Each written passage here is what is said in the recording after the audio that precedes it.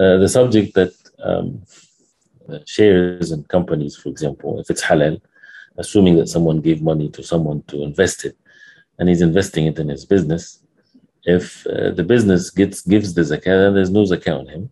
When, if he gets profits, then it becomes part of his money, and he gives the zakat. Uh, so the, the zakat of the business is very important. If the person is not, not giving zakat of the business, then the person has to, the one that uh, invested money, then he has to give zakat then. And that's one of the things is giving uh, one's wealth to be invested on people do not fulfill the orders of Allah by giving zakat and things like this. This is an issue. May Allah subhanahu wa ta'ala you know, protect us from haram.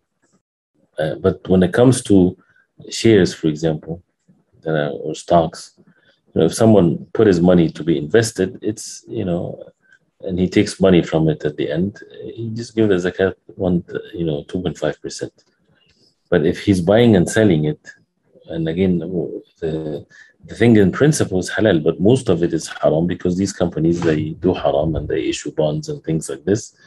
And when a person purchases stocks, that means he's he becomes a partner. That means he is responsible for what what these companies do. Uh, so therefore, it's not permissible then to buy shares from companies that deals with riba, whether it takes loans or so.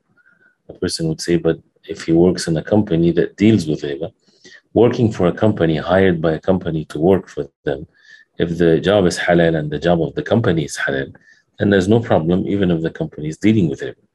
Once you buy and you purchase stocks, that means you're a partner, you're a shareholder, so you're responsible for what the company does. So this is, you know, again uh, with that, and that's why the, the haram money that a person has, there is no zakat on it because Allah subhanahu wa ta'ala is pure and He only accepts what is pure. We'll stop here inshallah ta'ala because of the next class. صلى الله وسلم وبارك على محمد وصحبه وسلم والسلام عليكم ورحمة الله